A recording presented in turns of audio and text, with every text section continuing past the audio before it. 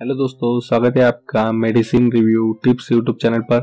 आज हम वीडियो में ग्लीसेन वी एम वन टैबलेट के बारे में पूरी जानकारी लेने वाले ग्लीसेन वी एम वन टैबलेट का मुख्य तो उपयोग डायबिटीज़ की समस्या दूर करने के लिए यूज़ किया जाता है। अलम्बिक फार्मास्यूटिकल कंपनी की ये दस टैबलेट की स्ट्रिप आपको मेडिकल स्टोर पर एक सौ में मिल जाएँगी। दोस्तों गई कीमत समय के साथ कम या ज़्यादा हो सकती है। यह टैबलेट खरीदने के लिए आपको डॉक्टर के प्रिस्क्रिप्शन की ज़रूरत होती है। यह डॉक्टर के पर्ची पर मिलने वाली टैबलेट है। बात करते इस टैबलेट में मौजूद कंटेंट के बारे में। ग्लीसेन वी एम वन टैबलेट में voglibose I P zero point two M G glimepiride I P one M G metformin S C L I P पाँच सौ एम जी यह कंटेन समाविष्ट है। बात करते इस टैबलेट के यूजेस के बारे में। डॉक्टर इसे किन किन समस्याओं में इस्तेमाल करते इस टैबलेट का मुख्यतः उपयोग डायबिटीज़ की समस्या दूर करने के लिए यूज़ किया जाता है, जिसे हम मधुमेह भी कहते हैं। यह खून में ग्लूकोज लेवल यानी शुगर को कम करने में मदद करता है। इस टैबलेट का उपयोग टाइप टू डायबिटीज़ मेलिटीज में भी यूज़ किया जाता है। टाइप टू डायबिटीज़ को नॉन इंसुलिन डिपेंडेंट डायबिटीज़ भी कहते हैं। इस समस्या में आपके बॉडी में पर्याप्त मात्रा में इंसुलिन बन नहीं पाता है। या इंसुलिन का प्रॉपर यूज़ नहीं होता है, इस वजह से आपकी बॉडी में शुगर लेवल सामान्य से बढ़ जाती है।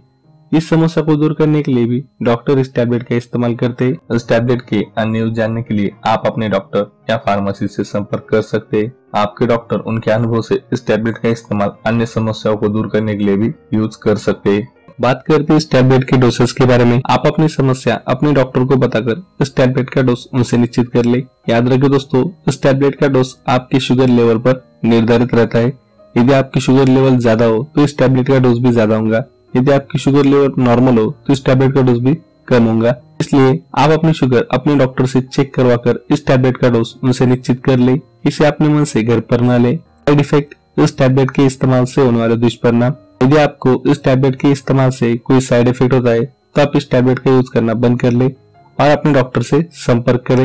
इस टैबलेट के इस्तेमाल से आपको दस्त, कब्ज, सिर दर्द, बेचैनी, मितली, उल्टी, ये कुछ साइड इफ़ेक्ट हो सकते प्रिकॉशन इस टैबलेट को यूज़ करते समय सावधानियाँ अगर आप पहले से कोई अन्य टैबलेट मेडिसिन सिरप ले रहे हो तो उसकी सूचना अपने डॉक्टर को अवश्य दे।